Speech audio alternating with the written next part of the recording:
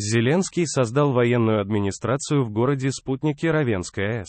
Президент Украины Владимир Зеленский сегодня, 20 февраля, решил создать Варажскую городскую военную администрацию в Равенской области. Об этом сообщает РБК Украина, ссылаясь на офис президента Украины. Президент издал указ номер 82-2024 в соответствии с законом Украины о правовом режиме военного положения. Президент решил создать Варажскую городскую военную администрацию Варажского района Равенской области. Теперь Генеральному штабу вооруженных сил Украины и Равенской областной государственной администрации осуществить мероприятия, связанные с образованием военной администрации. Указ вступил в силу со дня его опубликования.